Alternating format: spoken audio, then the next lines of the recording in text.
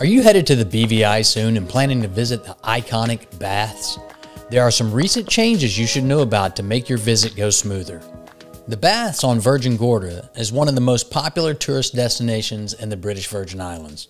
This area features a unique landscape of giant granite boulders that form natural pools and grottos filled with crystal clear water.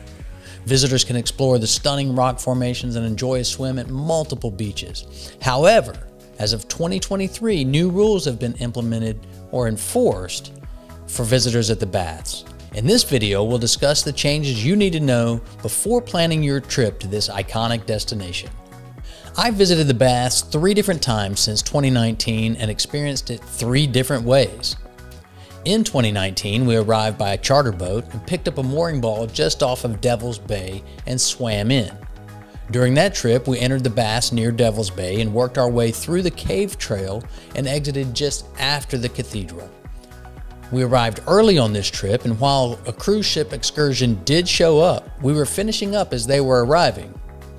We did hike up the, one way to the top of the baths and back down the other trail, arriving back in Devil's Bay. In the fall of 2022, we once again arrived by charter boat and picked up a mooring ball closer to Spring Bay, just off the beach where Poor Man's Bar is located. We took our dinghy to the dinghy line, tied up, and swam the rest of the way in. This time, there were much fewer visitors and no cruise ship excursions. We were actually able to enter near the cathedral and work our way backwards through the cave trail and exit at Devil's Bay. We then hiked up to the top of the baths, enjoyed lunch, and returned the opposite trail down, arriving back at the beach near our dinghy. In March of this year, we were able to once again pick up a mooring ball at Devil's Bay. However, due to an outboard engine issue on our dinghy, we weren't able to tie up and swim in. Not wanting to miss out on the baths, we motored over to Virgin Gorda Yacht Harbor and paid for temporary hourly docking and caught a land taxi over to the baths. Now, this is the method most people use when there's a red flag at the baths and they don't want you mooring and swimming in. On this trip, there was a large cruise ship excursion, and because we had to change our plan of arrival, we did not beat them in.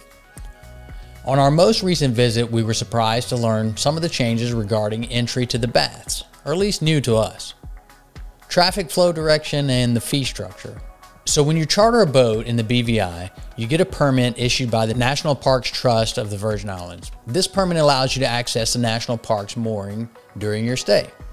However, and this is clearly stated on the back of the permit, it does not include entry fees to the Greater Baths National Park. I have a feeling this disclaimer has always been there, but most people don't see it. In the past, the assessment of the entry fee was very loosely enforced. Now, upon arrival, even if you swim in, visitors are asked to take the trail to the top of the baths, pay the entry fee of $3 for adults and $2 for children, and return one way to the baths trail entrance near Devil's Bay. In the past, the traffic flow of people was one way when cruise ships were in port, which totally makes sense as the trails are pretty tight in places and two way traffic would be very difficult.